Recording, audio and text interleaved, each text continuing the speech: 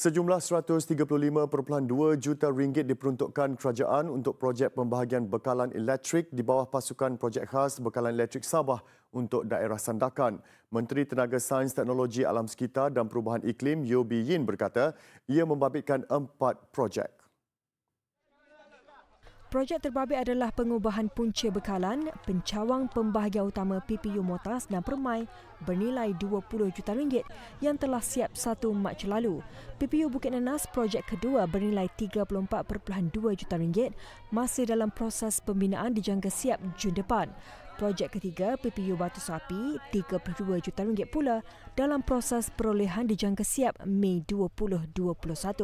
Manakala projek terakhir membabitkan PPU Shun Ngen dan Sim Sim, 49 juta ringgit dijangka siap akhir 2021.